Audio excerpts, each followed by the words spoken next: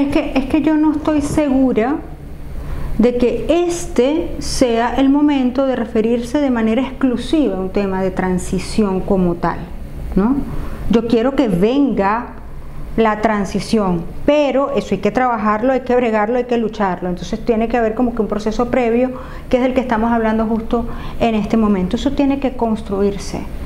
Y para construirlo tenemos que hacer todo lo que dijimos antes, unirnos, estrategia para cambiar el régimen, eh, plan de gobierno y toda esta cosa. Y luego tiene que haber necesariamente un proceso de sensibilización del ciudadano en torno a todo lo que implica una transición, porque la transición va a venir, porque este régimen no va a ser eterno, porque esta dictadura se va a acabar, se va a terminar. Y te repito, no porque lo decretemos en un acto metafísico, sino porque tenemos que trabajar para que eso ocurra. Pero todo eso se tiene que trabajar y se tiene que producir, eso no va a ocurrir solo. Ya para finalizar, diputada, ¿qué está haciendo? Ah, no, pero eso está muy corto, chica. ¿Qué está haciendo un nuevo tiempo para evitar divorciarse del ciudadano? No, no lo sé.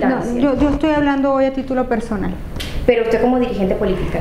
¿Qué hace para articular con dirigentes de base? A título personal. Que no sientan orfandad política. A título personal te respondo.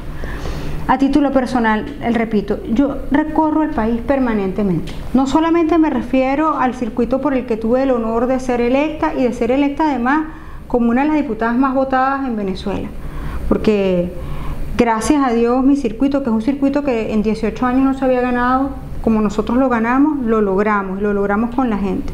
Entonces yo estoy permanentemente en mi circuito, en Huecaipuro, en Los Teques, en Carrizal y en San Antonio de los Altos, pero además de eso, cada 15 días recorro dos estados del país, puerta a puerta, casa a casa, timbrazo como lo llaman en Argentina, ponle el nombre que tú quieras, pero estoy en la calle, con la gente, así como estamos aquí con la luz, yo estoy, con la IBI, yo estoy con la gente en la calle permanentemente. Como te digo, dos estados cada 15 días, lo hacemos por tierra porque es complicado el tema de los aviones en el país y toda la cosa y nos vamos en autobús.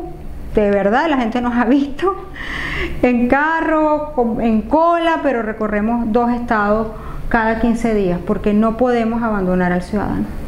Muchas gracias por acompañarnos el día de hoy en esta transmisión de Con la Luz. La próxima vez me van dos horas, esto de una hora es muy poquito. Claro que sí, habrá otra oportunidad. Agradecemos a la productora audiovisual Capitolio por la iluminación del set. Hasta la próxima.